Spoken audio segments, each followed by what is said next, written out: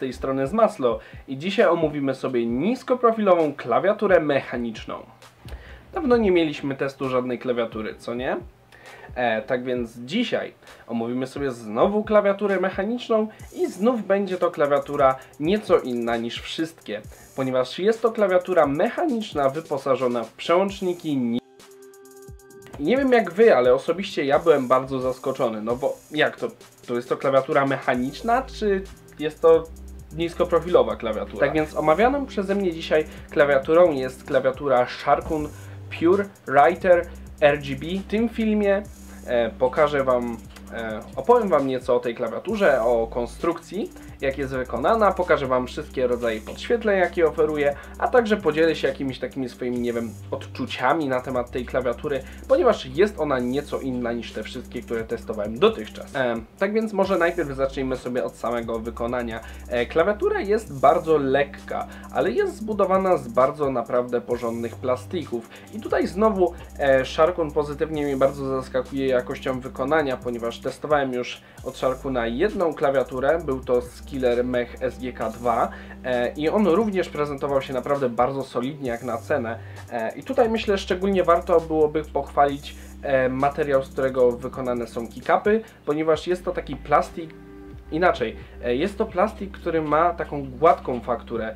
Miękki on nie jest. Ta faktura jest po prostu taka gładka i po prostu jest ona przyjemna, przynajmniej jak dla mnie jest to naprawdę bardzo przyjemny e, materiał i bardzo fajnie się na nim pisze. E, na bardzo duży plus zasługuje to, że klawiatura e, ma tutaj odpinany, ma odpinany kabel. Jest to rzecz, na którą ja bardzo zwracam uwagę, ponieważ jest to moim zdaniem bardzo wygodne rozwiązanie, ponieważ eliminuje to wszystkie problemy e, z kablami, mianowicie gdyby kabel się urobił czy coś takiego. E, dodatkowo myślę, co warto powiedzieć, też w pudełku otrzymujemy dwa kable, jeden krótki i jeden długi. No i jak jesteśmy też przy konstrukcji, myślę warto powiedzieć o tym, że mamy też e, oczywiście nóżki, e, które fajniej nam ustawiają klawiaturę pod kątem, żeby wygodniej nam się pisało. Co do samych switchy, e, switche są to właśnie switche Kali niskoprofilowe. W moim konkretnym egzemplarzu są to switche Red, czyli te praktycznie najcichsze. I co, co mogę powiedzieć o samych switchach? E, switche niskoprofilowe są stosunkowo nowe. E, oczywiście mam tutaj na myśli nowe, na pewno nowsze od tych takich tradycyjnych długodystansowych switchy. E, czy takie rozwiązanie jest dobre? Myślę, że takie rozwiązanie na pewno będzie miało swoją niszę. Z tym, że jednak jeżeli mamy niskoprofilowy mechanik, no to w sumie czym on się różni od membrany? Różnica pomiędzy tą niskoprofilową mechanikiem a membraną jest tym, że no po prostu mechanicznie cały przełącznik działa na zasadzie mechanicznej. W klawiaturze membranowej następuje zwarcie na membranie i to jest generalnie taka różnica. Chociaż szczerze mówiąc, przy tych przełącznikach czerwonych, niskoprofilowych, ja mam trochę takie wrażenie, jakbym pisał na klawiaturze membranowej.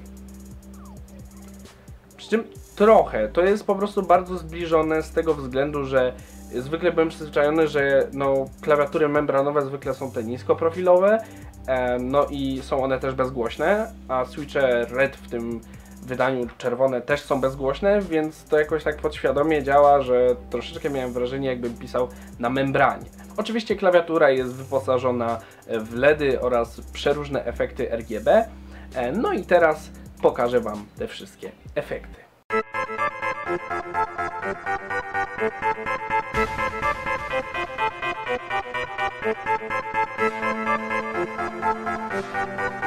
you.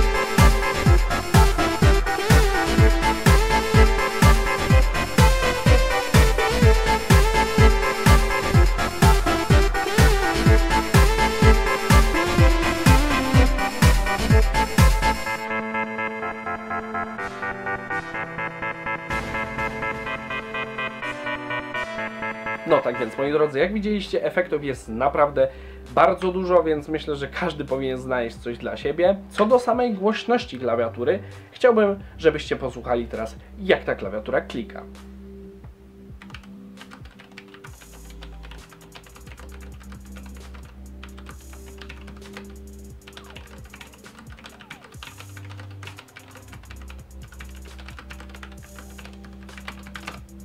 No tak więc jak słyszeliście, no klawiatura jest można powiedzieć bardzo dyskretna, cichutka i fajna. Jeżeli kładziecie na to nacisk, jeżeli nie lubicie, jeżeli klawiatura jest głośna, no to myślę będziecie bardzo zadowoleni. No i moi drodzy, teraz mm, chciałbym powiedzieć nieco o moich odczuciach. Jest to pierwszy raz, kiedy w ogóle spotykam się z taką niskoprofilową klawiaturą mechaniczną. Po prostu nie wiedziałem czego się spodziewać.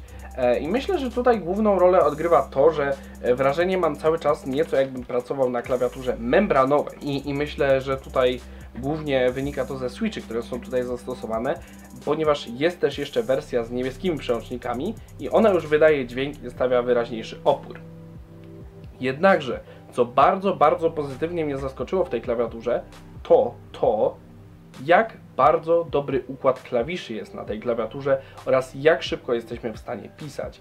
E, jeżeli zwróciliście uwagę e, w tym momencie, kiedy dałem Wam posłuchać, jak klawiatura brzmi, zauważycie, że pisałem na niej naprawdę szybko.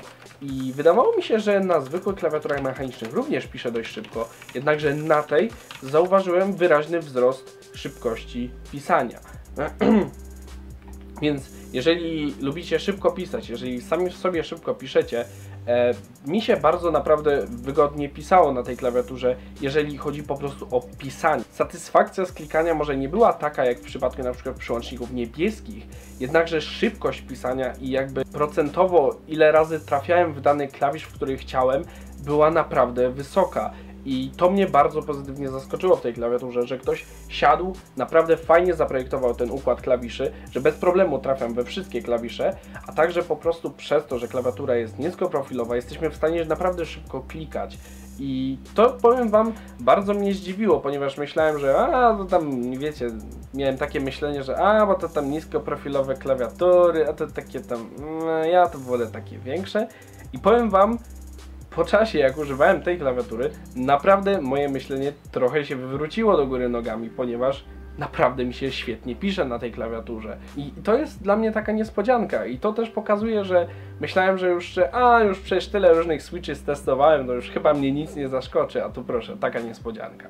Tak więc moi drodzy, tyle y, z mojej recenzji tej klawiatury.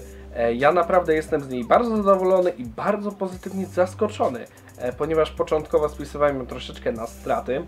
Jeżeli ktoś z Was chciałby sobie e, zakupić e, taką klawiaturę, no to oczywiście w opisie rzucę Wam tam jakieś linki do Ceneo czy coś takiego, więc to sobie tam możecie obczaić. No i to tyle z mojej strony. Jeżeli interesują Was filmy o technologii, to pamiętajcie, żeby sobie zerknąć tam na mój kanał, bo tam pojawia się sporo tych rzeczy.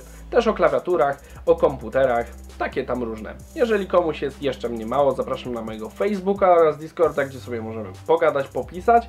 No i oczywiście zostawcie łapkę, e, jak Wam się podobała taka klawiatura oraz możecie napisać, czy wcześniej słyszeliście o niskoprofilowej klawiaturze mechanicznej. Tyle z mojej strony, mam nadzieję, że zobaczymy się w kolejnych materiałach. Na razie, BIOS!